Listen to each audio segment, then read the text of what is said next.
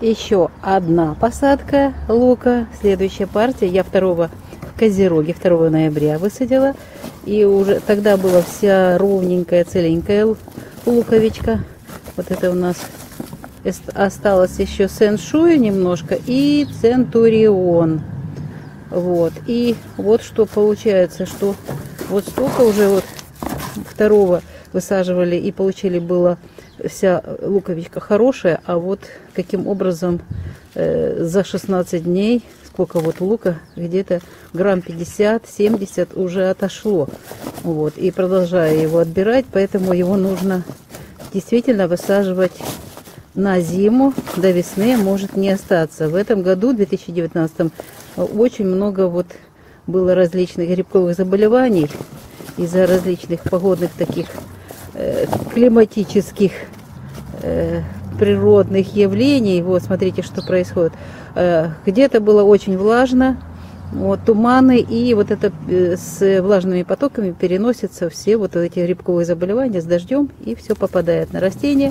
И что я делаю, чтобы обезопасить? Вот, пожалуйста, какой лук. Он тоже до весны не доживет.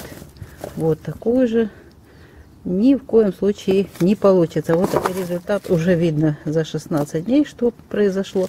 Так вот, чтобы обезопасить лук, я этот лук помещаю Снова мне на помощь приходит вот этот препарат фитоспорин, э, который как раз э, его составляющие, живые бактерии, зеленая палочка, она э, живет себе и процветает при плюсовых температурах. Как только становится холодно, она засыпает, но снова же теплеет, и она просыпается, она никуда не девается. И очень хорошо ее отправить как раз в землю. Но в данном случае я э, сейчас вот этот лук вот, отправлю в раствор. Делаю раствор вот такой крепенький. Вот крепкий раствор. И сюда засыпаю весь лук. Ну и здесь он находится полчаса. Вот такой он после всего получается. И теперь нужно идти будет высаживать. Но э, прежде чем э, я расскажу, как я буду высаживать, у меня еще одна грядка испытательная. Мы 2 ноября в Козероге высаживали по междурядьям э, сидератов, масличная редька. А сейчас будем просто заранее замочили грядку и покажу чуть позже. Но прежде чем мы подойдем на грядку, вот еще очень важная вещь. Это как раз подкормочки удобрения. Это у нас борошно, э, мясо костная мука и рыбная мука. Один к одному я перемешиваю и затем вот э, что я буду делать, сейчас покажу вам.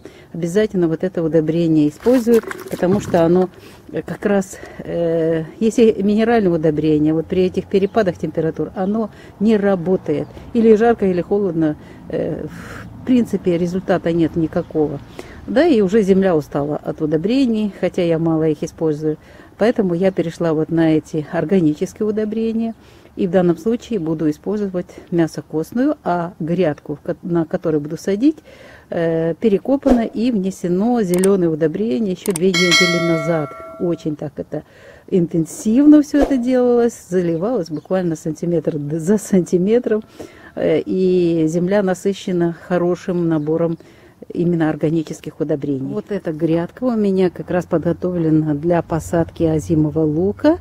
Э, вот она уже увлажнена хорошо, поэтому ничего не заливаю. Рядышком сидератами. Вот. И здесь очень хорошо уже я сделала луночку.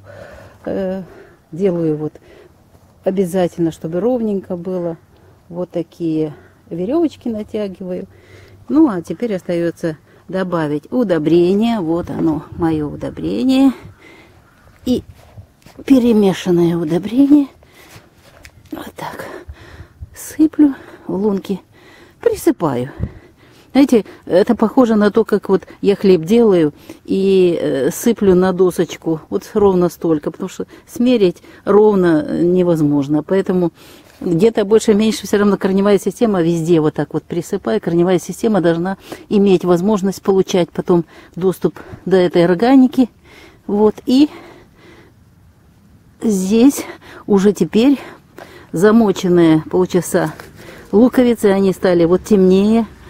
Э, ну и с другой стороны они напитались э, всякими нужными питательными веществами, потому что как раз в этом фитоспорине М, э, фитоспорин К, а это, кстати, фитоспорин М тоже имеет питательную среду, поэтому если нету К, то используем М.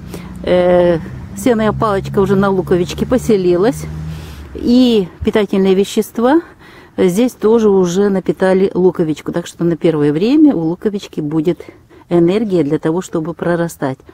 Так как сегодня у нас уже 18 ноября, э, лев, убывающая луна, для лука предназначено время. Э, лев покровительствует луку и чесноку, поэтому я сегодня высаживаю. Вот даже пропустила одна луковичка мягкая, я ее садить не буду с нее толку не будет, внутри остались какие-то там проблемы, мы ее оставим. А вот эти луковички высаживаем на глубину 5 сантиметров. Вот.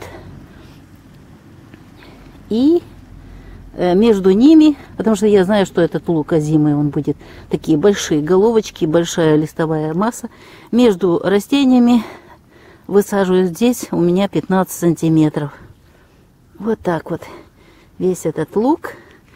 Это крупный лук, это голландский лук Центурион. И вот так его все весь высаживаю. И остается мне только его закрыть. Вот таким образом я закрываю влажная земелька, и все будет очень хорошо. Ну вот, лучок уже посажен. Э, здесь у меня Центурион поместился, далее будет Сеншой.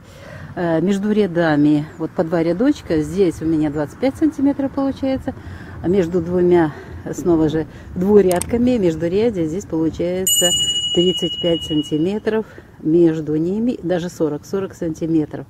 Вот. И э, закрываю, и вот на этом уже посадка озимого лука Центурион завершена. На канале Раиса Горяченко, дача сад огород цветы было видео, посвященное посадке лука, как раз озимого лука в дни льва, покровителя как раз луковых растений, лука, чеснока. И э, это видео как раз э, второе, потому что мы как будем весной смотреть на результаты. Мы в Козероге посадили 2 ноября, и вот сегодня, 18 ноября, во Льве, уже убывающая луна, увидим результат весной. Надеюсь на хороший результат. Всего вам доброго.